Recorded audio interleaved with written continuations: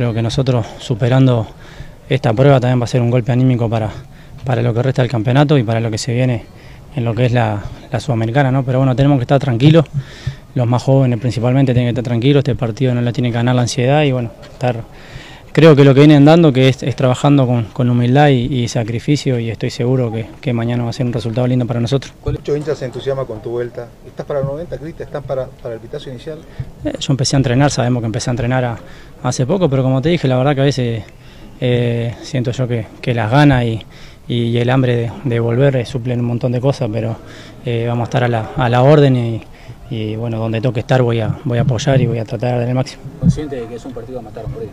Sí, a matar a morir no porque es fútbol, pero, pero sí sabemos que se juegan cosas muy importantes para lo que es la institución. Como dije recién, sabemos que la gente es muy pasional y acá vemos jugadores también que somos, que somos hinchas y queremos siempre que, que el club esté en lo más alto. ¿Has podido ver a, al, al rival en los partidos que se ha jugado en la liga?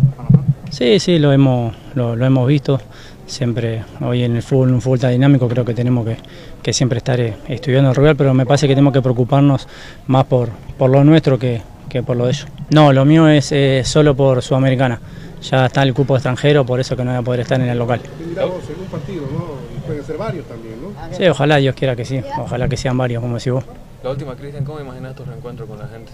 Con tu gente, sobre todo. No, la gente siempre ha estado presente, la verdad que es un, un, cariño incondicional que yo les tengo a ellos, un respeto enorme porque siempre se han portado de 10 conmigo. Bueno, espero mañana eh, darle la alegría que tanto, que en tanto necesita Blum.